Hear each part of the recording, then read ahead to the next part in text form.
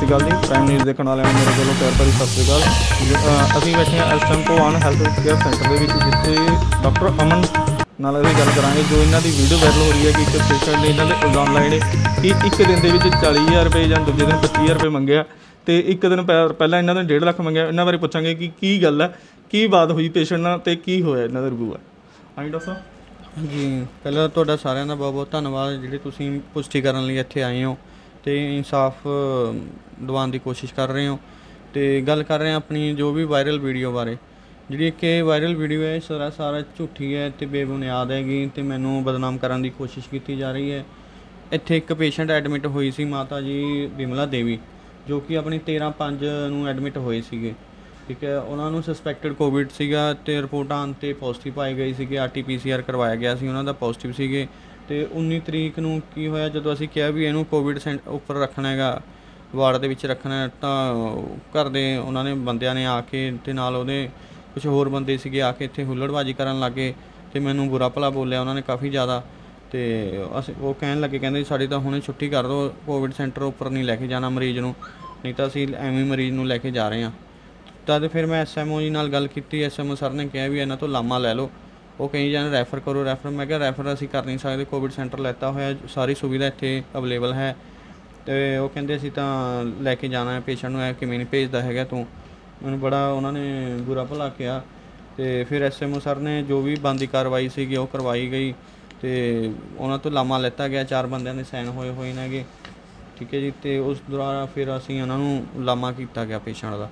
ਅਤੇ ਜਿਹੜੀ ਗੱਲ ਇਹਦੇ ਵਿੱਚ ਕਹਿ ਰਹੇ ਨੇ ਕਿ ਵੀ ਇੰਨੇ ਪੈਸੇ ਲੱਤੇ ਗਏ, ਡੇਢ ਲੱਖ ਰੁਪਇਆ ਲਿੱਤਾ ਗਿਆ, ਜੋ ਵੀ ਹੈਗਾ, ਇਹੋ ਜਿਹਾ ਕੁਛ ਨਹੀਂ ਹੈਗਾ, ਠੀਕ ਹੈ? ਕੋਈ ਵੀ ਜੇ ਉਹਨਾਂ ਨੂੰ ਲੱਗਦਾ ਹੈਗਾ ਕੋਈ ਰਿਸਿਪਟ ਦਿਖਾਉਣ, ਠੀਕ ਹੈ? ਜਾਂ ਕੋਈ ਵੀਡੀਓ ਦਿਖਾਉਣ ਜਾਂ ਕੁਛ ਵੀ ਹੈਗਾ, ਦੇਖੋ ਜਿਹੜੇ ਚਾਰਜਿੰਗ ਹੋਈ ਹੈਗੀ, ਉਹ ਵੀ ਗਵਰਨਮੈਂਟ ਐਸ ਪਰ ਗਾਈਡਲਾਈਨਸ ਨੇ ਹੈਗੀਆਂ ਕੋਵਿਡ ਦੀਆਂ, ਜਿਹੜੀਆਂ ਸਾਨੂੰ ਸਰਕਾਰ ਮਨਜ਼ੂਰ ਜਿਹੜੀ ਸਰਕਾਰ ਹੈਗੀ, ਉਹ ਸਾਨੂੰ ਕੋਵਿਡ ਦੇ ਮਰੀਜ਼ਾਂ ਬਾਰੇ ਬਿੱਲ ਦੱਸਿਆ ਗਿਆ ਵੀ ਇਸ ਢੰਗ ਨਾਲ ਤੁਸੀਂ ਬਿੱਲ ਲੈਣਾ ਹੈਗਾ। ਤੇ ਉਸ ਦਾ ਪੇਸ਼ੈਂਟ ਦਾ ਜਿਹੜਾ ਬਿੱਲ ਸੀਗਾ, ਉਹ ਇਹ ਬਣਿਆ ਸੀਗਾ ਜੀ 60000 ਸਮਥਿੰਗ ਹੈਗਾ ਇਹਨਾਂ ਦਾ। ਜਿਸ ਦੇ ਵਿੱਚੋਂ ਮੈਨੂੰ ਹਾਲੇ ਫਿਲਹਾਲ 55000 ਹੀ ਦੇ ਕੇ ਗਏ ਨੇ ਜੀ। ਹਾਲੇ ਬਾਕੀ ਪੈਸੇ ਵੀ ਪਏ ਨੇ ਜੀ ਇਹਨਾਂ ਦੇ। ਬਾਕੀ ਇਹਨਾਂ ਦੇ ਆ ਪੇਸ਼ੈਂਟ ਦੀ ਫਾਈਲ ਹੈਗੀ। ਪੇਸ਼ੈਂਟ 15 ਆਹ, 13 ਤਰੀਕ ਨੂੰ ਆਏ ਸੀਗੇ ਤੇ 19 ਤਰੀਕ ਨੂੰ ਹੋ ਗਏ ਨੇ। 7 ਦਿਨਾਂ ਦਾ ਇਹ ਪੈਸੇ ਨੇ ਜੀ ਇਹ ਚ ਕੋਈ ਵੀ ਕੁਝ ਵੀ ਹੁੰਦਾ 7 ਦਿਨਾਂ ਦੇ ਵਿੱਚ ਵਿੱਚ ਇਹ ਪੈਸਿਆਂ ਦਾ ਵੇਰਵਾ ਸਾਨੂੰ ਅਸੀਂ ਸਾਰਾ ਦੱਸਿਆ ਗਿਆ ਹੈਗਾ ਇਹਨਾਂ ਨੂੰ ਐਸਐਮਓ ਸਰ ਨੂੰ ਵੀ ਦੱਸਿਆ ਗਿਆ ਹੈਗਾ ਵੀ ਸਾਰਾ ਆਹ ਹੈਗਾ ਹੈਗਾ।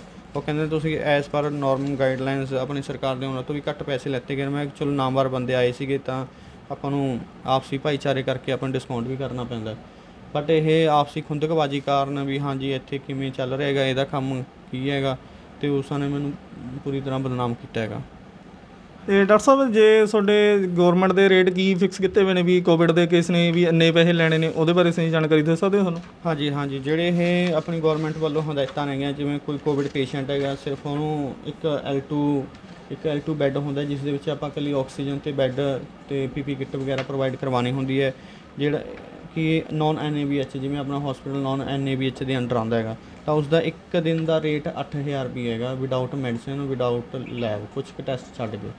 ਠੀਕ ਹੈ?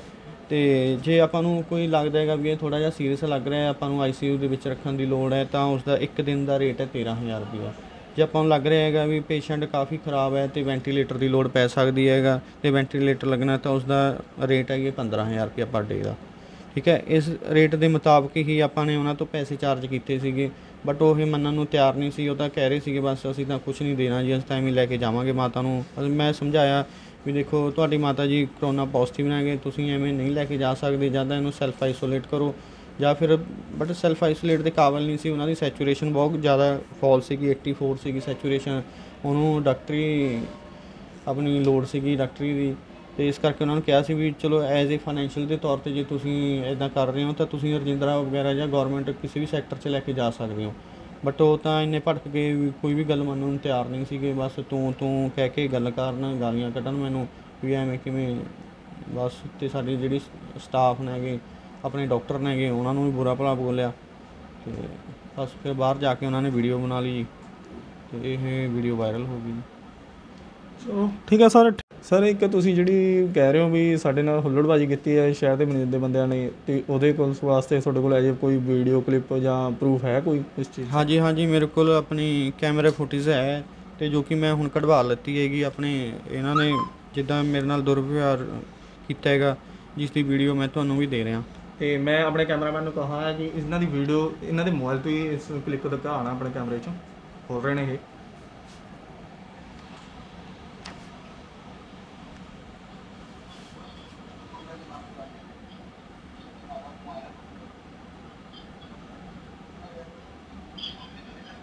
ਜਦ ਕਿ ਇੱਥੇ ਕਹਿ ਰਹੇ ਨੇ ਕਿ ਡਾਕਟਰ ਸਾਹਿਬ ਦੇ ਮਾਸਕ ਨਹੀਂ ਮਾਸਕ ਮੇਰੇ ਲੱਗਿਆ ਹੋਇਆ, ਇਹਨਾਂ ਦੇ ਖੁਦ ਲੱਗਿਆ ਨਹੀਂ ਹੋਇਆ।